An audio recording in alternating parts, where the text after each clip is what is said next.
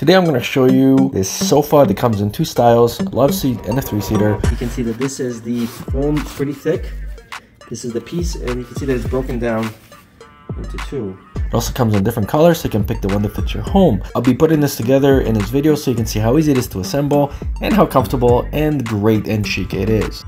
You can always team these up with these nice foam marble tables. They also come with glass covers. They can be stacked or separated. The couch itself has a capacity of 300 pounds. It's 35 inches by 76 inches wide and will sleep one person comfortably. Stay tuned for the whole video. First, this is a Lynnwood couch. We're going to show you how to assemble it. There is really not too much that you need to do here. So uh, let's go and put this right in our living room. It's a really nice charcoaly color.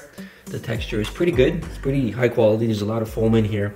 It does come in different colors. Black, blue, charcoal gray, gray. These are the nice thick pads for the bottom. They have these little side pieces as well. Metal, metal, so that's good.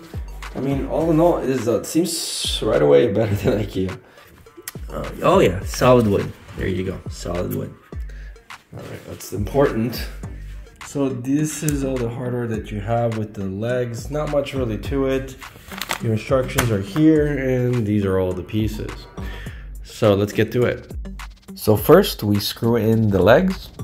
Next, then on the inside, we're gonna place four screws. One, two, three, and four. Now this is so we can hook this board on. So let's go and do that right now. So this hooks on, tighten that up. And then we're gonna place this on the ground, and then we're gonna put that on that. And do this again, right over here. There we go. Next, attach the plastic washers over top of the support legs and attach them to this giant piece with the metal edges. And now, place these on the inside of your couch, and this is gonna slide right in there, and the other one in there like this. Next, take this big piece and this has these metal grooves and that slides on top of that and that. Just make sure that the inside portion is facing here. It basically just slides right on top. And now we take this, remember there's a Velcro here, and we place it here. Now before we do that, I'm gonna unzip this so you guys can get an idea of the type of padding that's inside. If you needed to clean it, you can. You can see that this is the foam pretty thick. This is the piece, and you can see that it's broken down into two. And then this is what's creating the tufting from underneath.